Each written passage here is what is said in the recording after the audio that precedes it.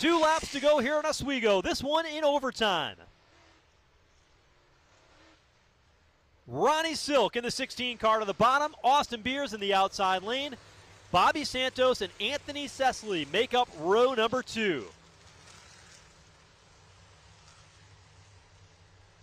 Silk has been outstanding on restarts all evening long.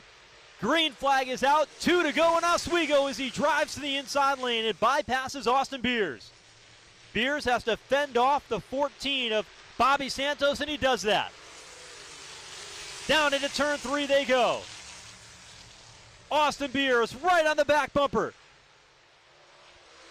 White flag is out. Ronnie Silk leads into turn one. Beers is there. They make contact in turn two. Silk holding on to the top spot on the back straightaway. Into turn three they go. Beers again to the back bumper.